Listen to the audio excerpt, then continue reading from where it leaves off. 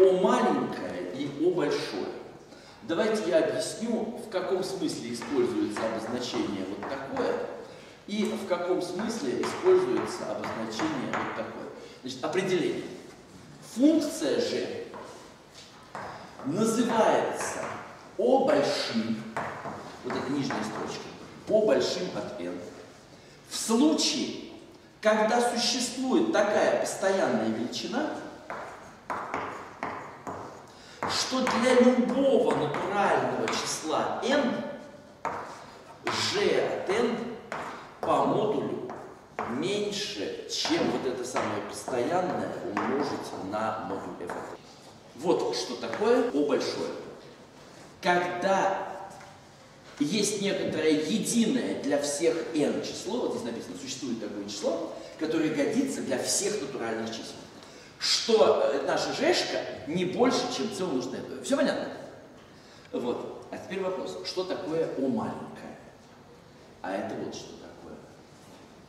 Э, это когда э, для любого положительного числа эпсилон существует такое натуральное число k, что для любого натурального числа n как только оно больше, чем k, больше, чем ну или больше, это не важно как писать, сразу же g от n меньше, чем эпсилон умножить на э, модуль э, f. Меньше или равно, чем эпсилон умножить на модуль э, f от n. То есть какая идея? Что у нас О маленькое это когда вот эту величину c постепенно можно уменьшать, уменьшать, уменьшать, и так приблизить сколь угодно близко к нулю. То есть для любого положительного числа эпсилон с какого-то места функция g становится меньше, чем эпсилон даже умножить на f.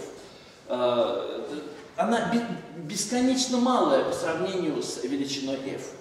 А о большое это просто ну, какой-то не больше, чем, не больше, чем миллион умножить на f от n или там не больше, чем 25 умножить на f, ну, в зависимости от того, какая константа. Ребята, это очень э, удобное и очень важное обозначение э, при изучении математического анализа. О маленькое и о большое. Дело в том, что вот эту фразу величина является маленькой. Эту фразу приходится очень часто э, в математике произносить. Вот эта идея, что там выражение маленькое, поэтому ни на что не влияет. Э, конечно, можно просто говорить, что оно маленькое, но тогда это выглядит как-то не очень математически, и рано или поздно просчитаешься, ошибешься. А вот эти вот э, обозначения позволяют это писать в виде точных математических формул. Итак, э, давайте подводим значит, результат. n гармоническое число, то есть 1 плюс 1 вторая, плюс 1 третья и так далее, и так далее, плюс 1 n.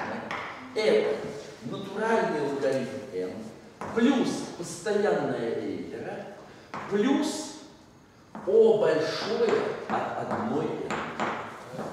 Обратите внимание, плюс и минус. А это одно и то же. О большое и минусу большое. Это строго одно и то же. Объясняю почему. Здесь не разница, все равно стоит смотрим. Поняли? Это позволяет не обращать внимания вот на такие мелочи, как прибавить маленькое число или отнять маленькое число. Это как раз мне совершенно не важно. Важно, что вот, вот это вот как бы главное и такая маленькая штучка. Давай. Хорошо. Хорошо.